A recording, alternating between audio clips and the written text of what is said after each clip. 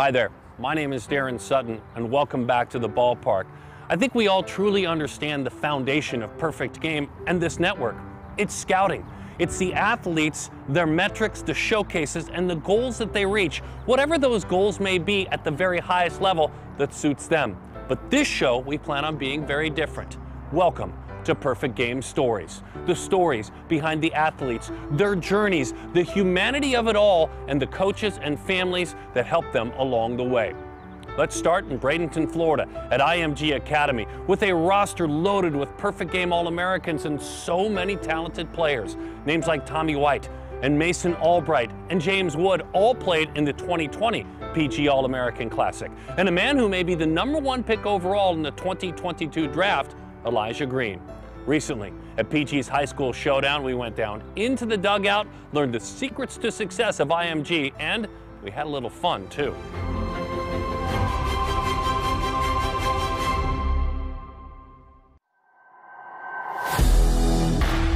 You wake up in the morning excited for games like this.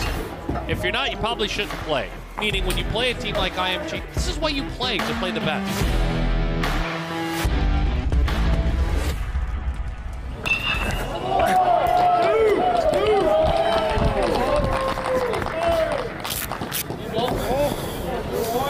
How's it going, man? Good, you? Pretty good. Yeah.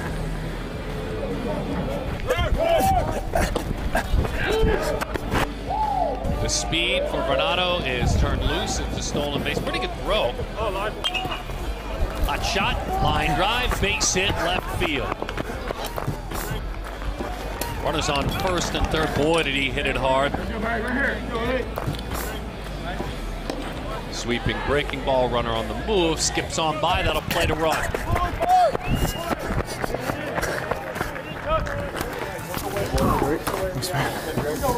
Thank you. Woo! Hey, Davion. Size 11. I said size 11. There's a 9, you'd probably be moving faster. I just had a bag, so. He's a 22. His name is Elijah Green. He's a number one player in the country.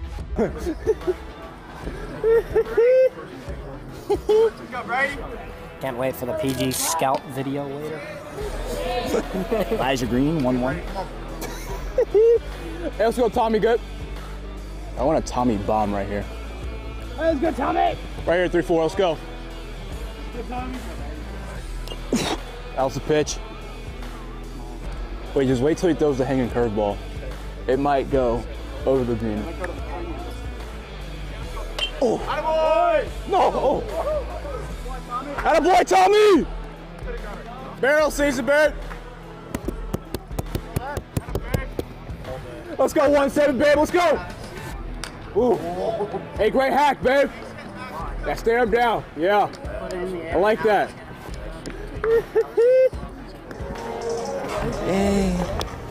Ah.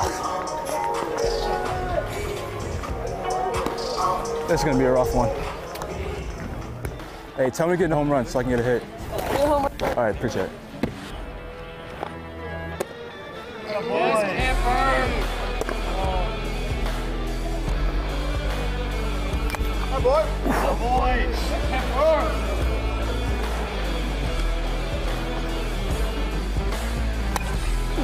Elijah Green hit one a mile.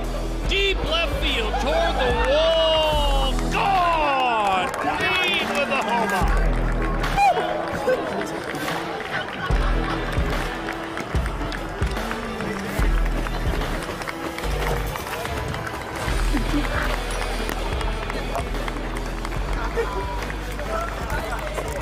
I got you. The guy's kind of tipping the pitches, and uh, he didn't really move his glove much, so I knew it was a fastball. And I was kind of up, so had to go in the bullpen. So yeah, that's about it.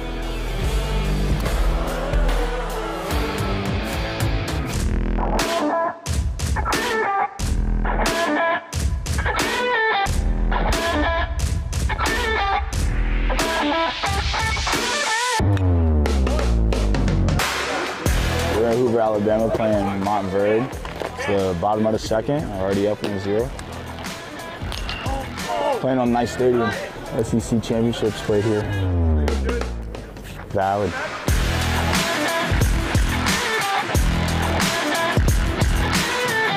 There you go, Stone. SFR Russ. Still never added me back on Snap. Did he ever add you back? Let's go, Marcel. Oh, boy, Marcel comfy on the mound, though. Wow, wow. Two days in a row. We did win when I was tapping the seeds. Hey, I should have brought the Skittles. We'd have been lit. Let's go, Drake. Yeah, that's a size 9 shoe walk right there, dude. He's gonna tell you where's a size 11, but it's a size 9. Oh. Go, Woody. We're gonna hit like a line drive. Line drive to center. Base hit. Oh my god.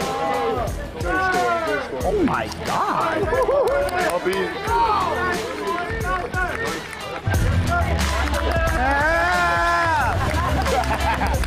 he did the he did the core, ve- core velocity though, bro. James Wood just hit a bomb. Now we're up 2-0. And James Wood is great. So we win tomorrow, we're gonna hit a little dog pile action. Nice piece of hitting from James Wood. Elijah Green at the plate. The bat speed, the power.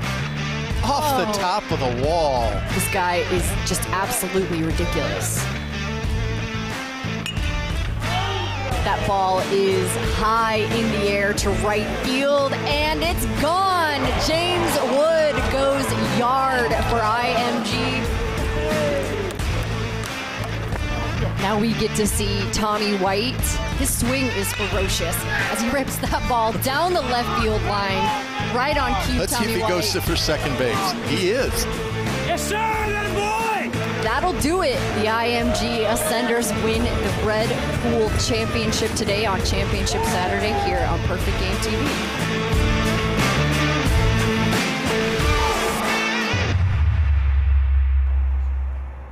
And by the way, a special word of thanks to Davion Hickson, Florida State commit, talented right-handed pitcher. He's the young man who wore the microphone a bunch at the end and helped us see that feature all the way through. This is a very talented pitcher, up to 93 miles an hour recently, pitching for FTB San Francisco Giants scout team. And he and his mates, they were again with IMG victorious at the Perfect Game High School Showdown. And of course, the showdown in Hoover, Alabama at the Hoover Met, which is about 50 miles away from Tuscaloosa, Alabama. The Alabama Crimson Tide, where Dylan Smith, a junior in this, the 21 season, is making a major impact. But on this show, let's go back in time. Smith was much younger, much leaner, and very, very open, talking about his mom, a single mom, and the impact she had on his life before, way before, his journey to Alabama. Let's go back to the 2018 World Showcase.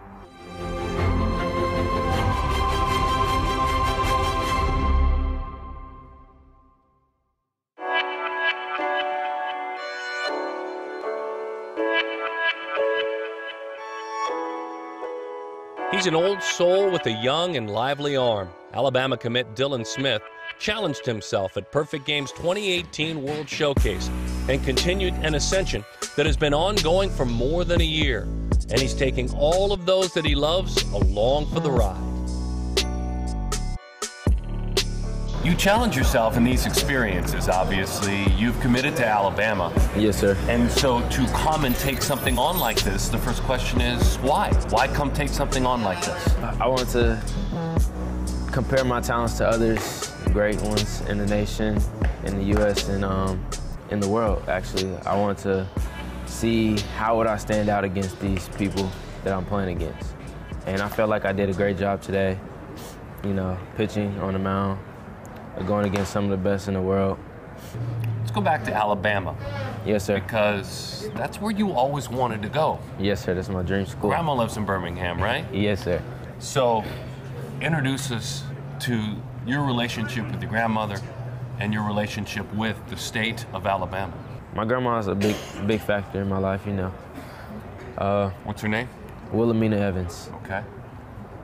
Wilhelmina, that's a classic. That's a beautiful name. yes, sir. Is Wilhelmina proud of you and everyone else proud of you that you're going to study mechanical engineering? Yes, sir. Why mechanical engineering? Uh, I like to do math and science. I like to think, problem solve. I like to, you know, I want to think harder than other careers that I focused on. But a lot of baseball coaches didn't like that because they said that the classes would be, you know, making baseball baseball schedule hard to compete with my mechanical engineering. So basically, I chose mechanical engineering just so I could prove people wrong.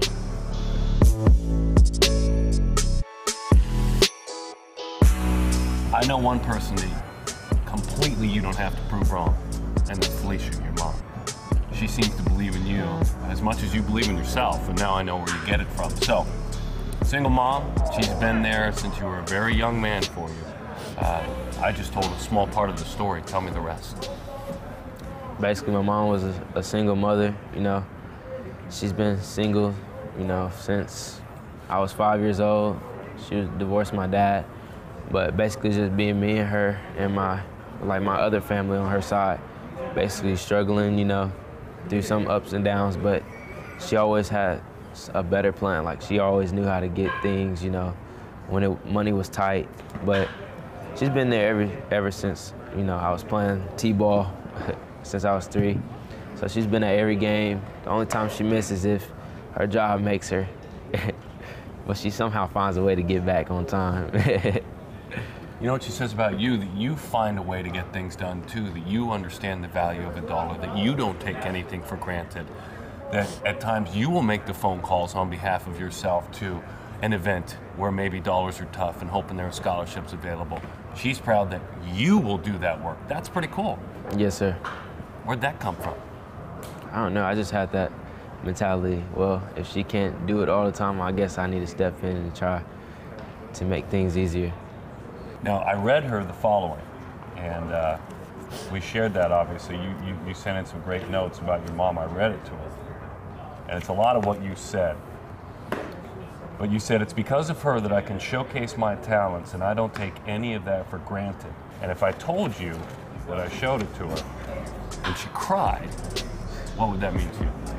That means she was happy, and she knows that, you know, I really care about her.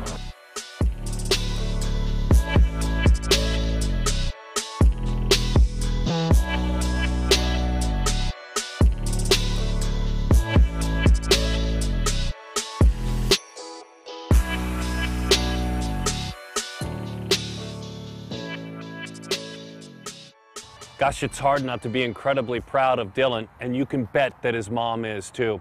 He has blossomed into one of the biggest arm on the Alabama Crimson Tide. That's Brad Bohannon, the head coach, and his staff. Congratulations and the very best to the brightest of futures to Dylan Smith. And now let's go just outside of Atlanta, Georgia, to Perfect Games East Cobb Complex, where recently the PG Cares Foundation gave back, and we were able to be there and blessed to experience all the smiles and joy with the young athletes from Slater Elementary, who many, for the first time ever, were grabbing a baseball and a bat and a brand new glove. Here's their evening, and oh my goodness, was it fun!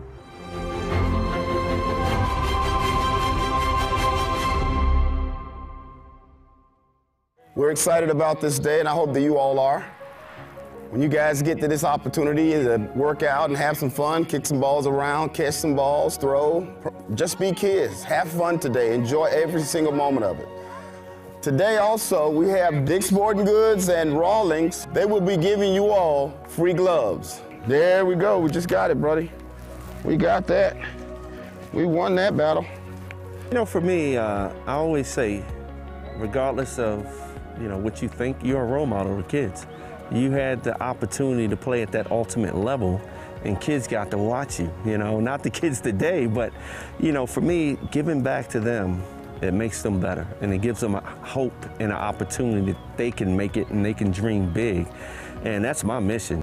Just keep it in front of you. You may even have to make a throw. Just keep your body squared up and under control, all right? Good job. I want to stay here and use my hips. Come on. To take you know what they've been able to create on the field with baseball and uh, getting kids exposure and trickle it down to the, the communities that need it the most. I hate to use the word culmination because, I mean, we're just getting started. There's a certain sense of accomplishment that uh, is very rewarding. The trip to the school today was phenomenal. Saw a lot of great kids and uh, actually saw a, a, a, a, great educational system for those kids. If anything, that probably means more to me than uh, all this baseball stuff. Going out there and giving kids an opportunity to participate and and open their eyes up to something new that they don't get a chance to do. Well, I'm, for us, it was exciting because a lot of these kids haven't been outdoors to play and be amongst each other in over a year. Uh, and for them to get an opportunity, we brought wiffle ball bats and baseballs out there, and we were out on a field uh, playing and having fun, and you could just see the excitement in these kids' faces. My responsibility is just really inspiring the kids, inspiring the youth, inspiring the kids that are in the community, especially when you come from the, the same community that I come from. And it's important to, to share that with the kids so they can have something to lean on and know that uh, you know, they're not by themselves. Great things can happen if you keep working and you have people that believe in you. Good job. What's happening? Uh, give me some. So you would throw like this. Our students are talented. They uh, come with a lot of abilities. They come with a lot of talents. They come with a lot, of, and they come with some challenges. Um, and the challenges oftentimes are more highlighted than their talents and abilities. So for them to get the opportunity to come and play with Perfect Game and get the opportunity to meet players who have played for the Braves and, and other major league teams, it's really an amazing opportunity. Today was fun that I learned how to throw the ball, learn how to catch We paid attention what our coach says. We had a little break, and uh, that's all we did. Over there, we we hit off the tee. Um, we did soft toss over there. Then over here, we just threw and threw little soft tosses um, to each other. And then over here, we just did fielding and stuff and catching the ball. Learn how you can throw, catch, and run around, play like kids. It was fun, and now I start to like baseball more and I got a whole bunch of home runs. Come on. That is awesome. All of the MLB players were out here, which made it more interesting to see what they would teach us because whatever they did was really cool. And maybe one day we'll be able to have the opportunity to do it too. But when I see you in 10 years, what will you be doing? Um, playing baseball still, hopefully. While I grind, try to get to the MLB. We were those kids at one time, and I think for us it's important uh, to show these kids that uh, we didn't grow up with a lot of money, a lot of us. We worked hard and we were dedicated, and you could be that same person if you do the same thing. And at the same time, we're teaching them about uh, giving back, being part of the community. In the end, it's really boils down to, you know, how, mu- how much did you really help? To me, that's probably the single most important thing that we're presently doing at the end of the day, I mean, I've told people before that I, I actually believe that, as far as a, from a personal standpoint, uh, PG Cares would be possibly my greatest accomplishment.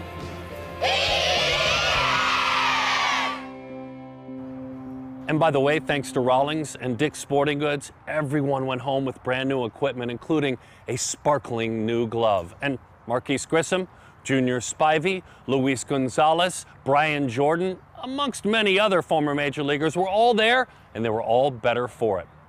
Now, finally, let's go back a couple of years. It was a day we had a unique experience with an athlete not too far ahead of his draft day in 2018.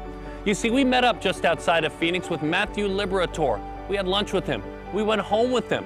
He took his afternoon nap. We rode the bus to the game with him. And then, pitching across town, in front of dozens and dozens of scouts, we got to see the true pressure through his eyes. Let's go back with Matt.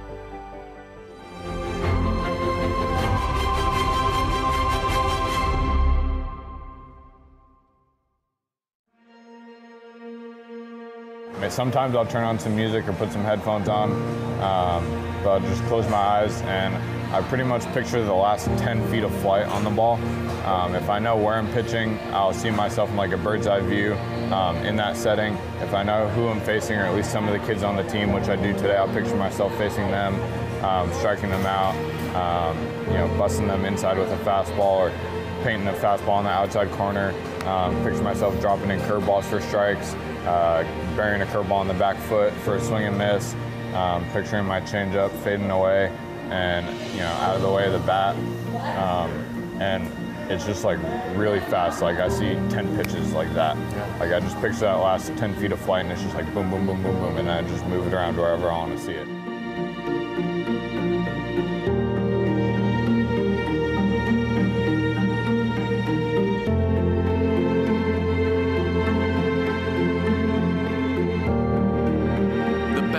Life lived as a teenager and an elite athlete. It's an incredibly unique challenge, to say the least. Your family, your goals, your friends, your choices, your training, your academics, all are elements of utmost importance. Left handed pitcher Matthew Liberatore has walked that fine line and managed to keep everything in its proper place and perspective, while doing so under pressure and scrutiny that would shrink so many. In the process, he has become one of the most sought after arms in the 18 draft.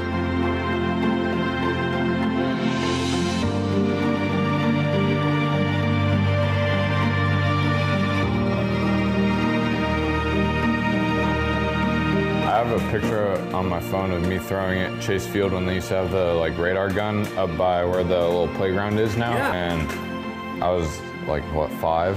Yep, that was this was a moment of discovery. I think a lot of it comes from my dad and also my pitching coach John. Um, just being super competitive my whole life, um, being able to really focus in on one thing at a time. Um, I feel like I've been able to do it since I was probably seven or eight years old. That one in the bucket is you too. That's Oh my that's in the bucket. Very nice. in the first round, the Reds select this kid in the bucket. We just hung those up like a month ago. Thought it was pretty cool. Chase Field opening day, I want to say 2008, and Dan Haren's on the mound. Ah. At, at I throw 88 on Twitter. Well, I would have been about right there during that game, calling that game. Mm-hmm. I was there too. And then I got PG ball with all the guys' names on it, Trevor Hoffman's autograph. May I? Of course. That's really cool. So these are all your teammates from the. Yeah. You won one of these bad boys, huh? I did. That's cool. Yeah, that was awesome. You, you, you value your experiences. Definitely. This is really neat. In the fall, did you did you play much baseball? I didn't play at all since My You didn't last. pick one of those up at all in the fall. No. No. They, they were yelling at me too, but. Who's they? The balls. no, but after the championship game in Canada. I hadn't touched- September-ish, right? Yeah, I think it was like September 10th, I want to say. Mm-hmm. Um, I didn't touch a ball and I just worked out, focused on nutrition and putting on a little bit of muscle mass. And then I threw in our season opener at home against Boulder Creek.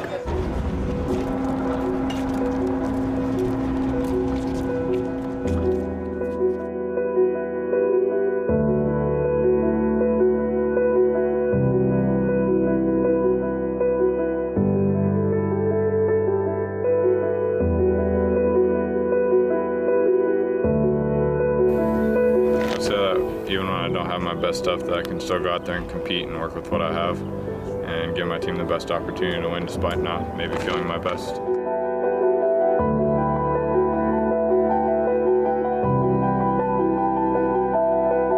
He probably tells you guys about it. How many of these in-home visits have you had to have? Uh, I did 28. Oh I didn't do one with the Cubs, and my one with the Pirates was at area codes. So technically, I had 29 meetings, but only 28 teams came to my house, and a couple teams came multiple times. That's crazy. It was a lot. I had one week where I did seven in one week. And then that was also the week that Jay Johnson came down to visit uh, because he was allowed to. And so I had seven in-home meetings with teams and him coming to visit in, on five days. What did they ask you about? Everything? It honest, it honestly is everything. But they ask a lot about the mental side of the game, how I approach hitters, what I see in hitters. Um, they ask a lot about the summer, um, guys that I faced, guys that I played with, who I liked, who I didn't like, who I thought was really good. Um, They had you do the scouting for them. yeah, honestly, a little exactly bit. what they It's smart by them.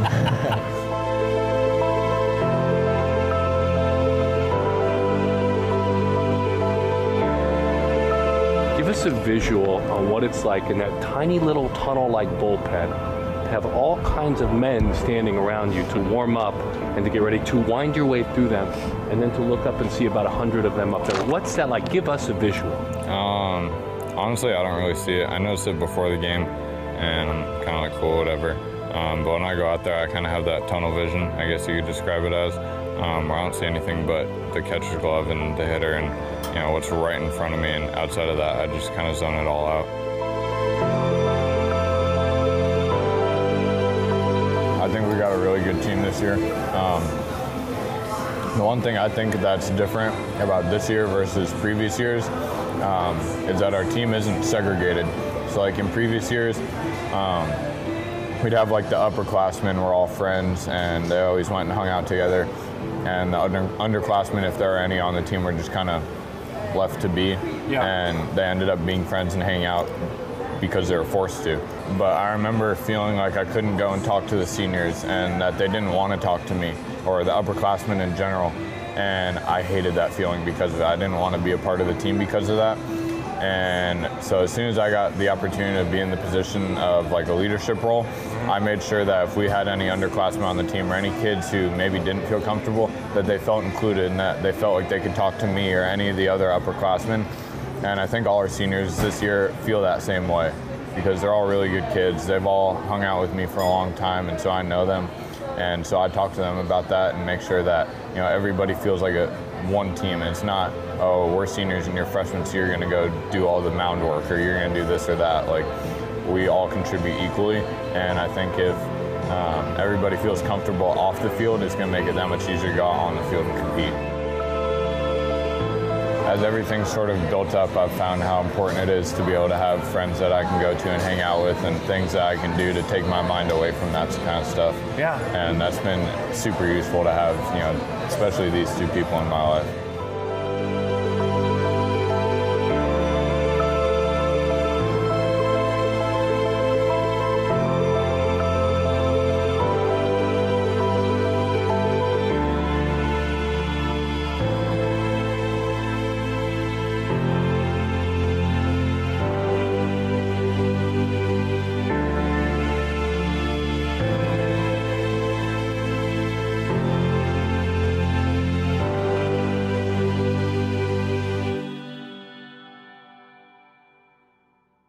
And since we spent time with Matthew, things are going quite well as a pro. 111 innings, 113 strikeouts, a trade to the Cardinals, where he is expected to be a huge part of the foundation and the future in St. Louis.